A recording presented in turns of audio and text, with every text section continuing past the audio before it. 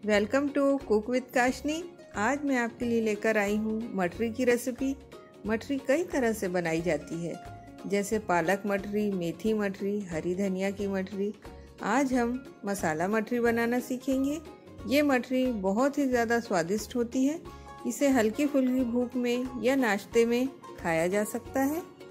जैसा कि करवा चौथ आने वाला है तो उसी के लिए मैं आज स्पेशली इस मटरी की रेसिपी को शेयर कर रही हूँ। तो चलिए इस मसाला मटरी को बनाना शुरू करते हैं। अगर आपको मेरे वीडियोस पसंद आते हो तो मेरे चैनल को सब्सक्राइब करें और बेल आइकन को क्लिक करना ना भूलें। तो आइए देख लेते हैं कि हमें यहाँ किन किन चीज़ों की ज़रूरत पड़ेगी। सबसे पहले यहाँ पर मैंने 250 ग्राम मैदा लिया है, साथ ही नमक, कसूरी मेथी, अजवाइन और कूटी हुई काली मिर्च। तो सबसे पहले यहाँ मैदे में कसूरी मेथी डालेंगे। इसे हमें हाथों से क्रश करके डालना है, जिससे कि इसका बहुत अच्छा सा टेस्ट आता है। फिर हम कुटी हुई काली मिर्च ऐड करेंगे। अजवाइन को भी हमें इस तरह से हाथों से क्रश करके ऐड कर लेना है। लास्ट में अब हम इसमें स्वाद अनुसार नमक ऐड करेंगे और इन सभी चीज़ों को हाथों की मदद से अच्छी तरह से मिक्स कर लेना है। अब हम इसमें मोयन ऐड करेंगे। यहाँ मैंने 50 एम तेल लिया है, जिसे हमें हल्का गरम करके ही यूज़ करना है। इसे पहले अच्छी तरह से मिक्स कर ले। अच्छी तरह से मसलते हुए आटे को बिल्कुल मिक्स कर ले। जितना अच्छी तरह से मिक्स होगा, उतनी ही अच्छी आपकी मठरी तैयार होगी। आप देख सकते हैं, इस वीडियो में आटे को हाथ से मसलते हुए बिल्कुल तैयार कर लेना है। आप इस स्टेप को ज़रूर फॉलो करें। इसी से आपकी मठरी बिल्कुल परफेक्ट बनेगी।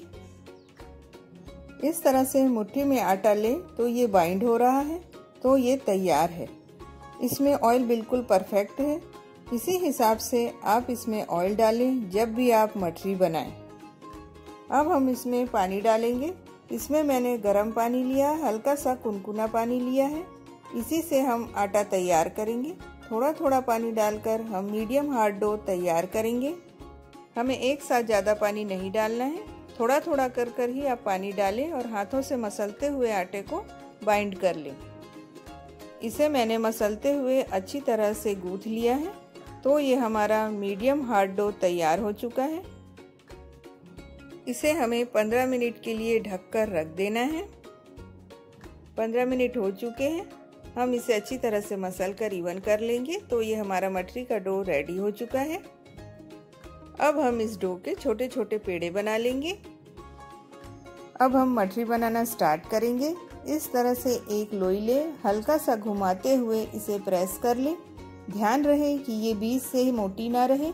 बस आपको यही करना है। आप देख सकते हैं कि इसके चारों तरफ़ जो क्रैक्स आई हैं, वो बिल्कुल ऐसी ही आनी चाहिए। बाज़ार में मिलने वाली मठरियों में होती हैं, बिल्कुल वैसी ही। ये बनाने में भी आसान है और खाने में भी बड़ी खस्ता होती है। इसी तरह से सभी मठरियाँ हमने बना ली हैं। अब हम इन्हें फ्राई कर लेंगे।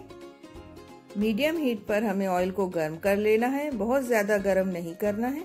हल्का सा गर्म कर लेना है। आप छोटा सा टुकड़ा डालकर देखिए ये एकदम से ऊपर नहीं आ रहा है। हल्के हल्के बबल्स आ रहे हैं। बस ऐसा ही गर्म ऑयल हमें चाहिए। एक एक करके अब हम हमारी सारी मछलियाँ इसमें डाल देंगे। जितनी कढ़ाई में जगह हो, उतनी ही मछलियाँ इसमें आप डालें और इसकी फ्लेम एकदम लो कर दें। लो फ्लेम पर इसे धीरे धीरे सिकने दें। थोड़ा सा टाइम लगता है, तभी आपकी मछलियाँ एकदम खस्ता बनती है। आप इन्हें पलटते हुए दोनों तरफ़ से अच्छी तरह से तल लें। आप देख सकते हैं कि इसका कितना सुंदर गोल्डन कलर आ चुका है। अब हम इन्हें निकाल लेंगे। हमें बस इनका इतना कलर आने तक ही फ्राई करना है। निकालने के बाद भी इसकी हीट से इसमें कलर आ जाता है तो हमें इसे खूब ज़्यादा नहीं तलना है। तो ये हमारी मसाला मटरी बनकर रेडी हो चुकी है। आप देख सकते हैं कि ये बाज़ार में मिलने वाली मटरियों की तरह लग रही है ना? इसके क्रैक्स ही बता रहे हैं ये कितनी खस्ता बनी है। ये हमारी बड़ी ही क्रिस्पी और टेस्टी सी मसाला मटरी को आप ज़रूर बनाएँ। देखिए, आपको इसे मैं तोड़कर दिखाती हूँ। आप देख सकते हैं कि ये अंदर से कितनी खस्ता बनी है। अगर आप मेरी बताई हुई टिप्स को फॉलो करेंगे तो आपकी भी मठरियाँ एकदम परफेक्ट बनेंगी। इन्हें आप एयर टाइट कंटेनर में भरकर स्टोर कर सकते हैं। अगर आपको ये वीडियो पसंद आया हो तो लाइक, शेयर, कमेंट ज़रूर करें। साथ ही मेरे चैनल को सब्सक्राइब करना ना भूलें।